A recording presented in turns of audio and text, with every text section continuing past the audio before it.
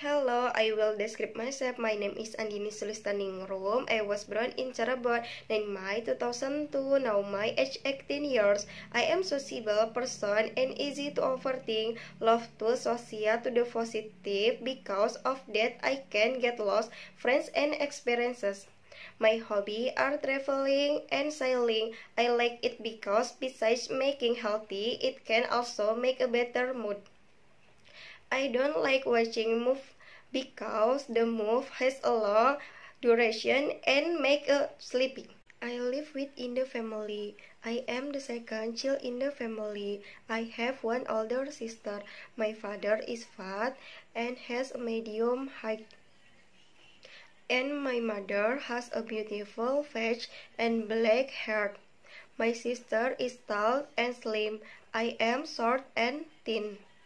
My family and always wear casual clothes such as shirt, tie on weekend.